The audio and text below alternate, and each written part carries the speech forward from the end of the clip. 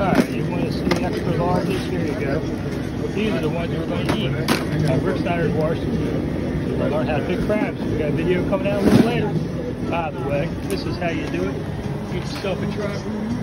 So that's real prices. That's not the crazy prices you're paying in DC. Alright, I'll be back a little later tonight. Make sure you watch how to pick crabs.